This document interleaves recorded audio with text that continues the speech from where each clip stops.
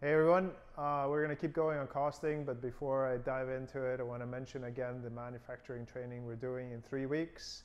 Uh, it's online, so just go and click on the link underneath if you're interested. Um, it's going to be loads of fun. You're going to deep dive into manufacturing, know everything about manufacturing in Business Central in three days. And it's online, so you can be anywhere in the world if you want to sign up.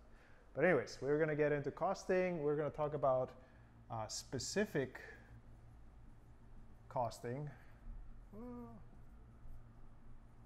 So we're going to create a specific coffee mug, uh, an item. And uh, so what is, how is specific costing? Why is it different? It's pretty interesting. Um, if you enable item tracking on the item, which means that you either are using serial numbers or lot numbers. So you're either serializing your item or you're lot tracking your item. Then you can use specific costing. You cannot put specific costing unless you have item tracking set on the item. But once it's set, you have a transaction, let's say you got a purchase, and let's say it's serial numbers, and the serial number for, let's say it's quantity one, oh, I'll do it like this, one, and serial number AB01 and cost whatever, $5. When you sell the item, you specify the serial number in the sale because you sell a particular serial number to the customer. scan the serial number or whatever, however you do it. And when you sell that serial number, it takes the cost from that serial number. So that's why it's specific. It is exactly what you bought it at. It, you cannot get more accurate with costing than this. But the overhead, of course, is you got to say one to one. I bought this particular serial number, now I'm to sell that particular serial number, which is a lot of overhead if you had to scan everything by serials. It works in some cases where everything is serialized. However, like with lots, lots is a nuance of this. Now, I'm to show you the serial in the screen share, and maybe we'll take another video on the lot. Let's take a look. Okay, so let's go ahead and create the specific coffee mug. So I'm just to go ahead and say new, um, name it spe specific um, coffee mug.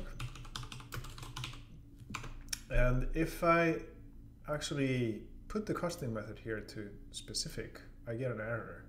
And the error is that it wants a tracking code before you actually put it to specific, which makes sense. So let's just go ahead and revert this. Uh, go down to tracking and I'm gonna just make this a serialized um, item. So it's serialized for all. And now I can go ahead and say specific and now the system is happy. So what is going on here? If I if I go into a purchase order um, and buy this item, I'm going to be asked to uh, specify a serial number for the item since it's serialized. I'm just putting the invoice number right here. So specific coffee mug. And I'm just gonna buy one because I have to put in a serial number for each one. Save me the trouble. Say it's ten dollars. Actually, let's let's do two. Um, and I'll go here into line item tracking lines to put in the serial number.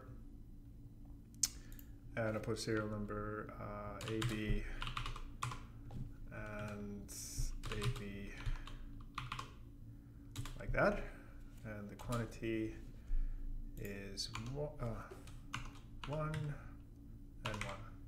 So with serial numbers, we can only have quantity one for each serial number. So each each piece is serialized basically. So I go ahead and say close and hit posting post. Okay.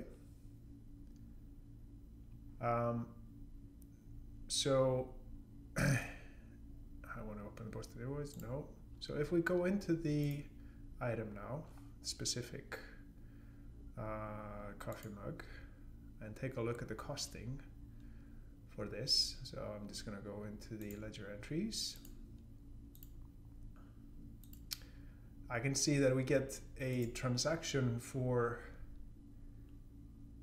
each serial number. So if you have an item that has lots of serial numbers, there's going to be lots of item ledger entries here. But anyways, that's that's an aspect of serial numbers. The other aspect of the costing method being specific is that when I actually sell a particular serial number in here, the cost will come from that serial number itself. So if I go ahead and do a sales order, uh, so it's pretty simple. It's just the cost of that particular serial number as it came in. Create a new serial number. I mean, create a new sales order and to the Adatum Corporation um, do a specific coffee mug from Maine. And let's say I'm selling one. So the cost is 10, obviously that comes straight from the unit cost on the uh, card.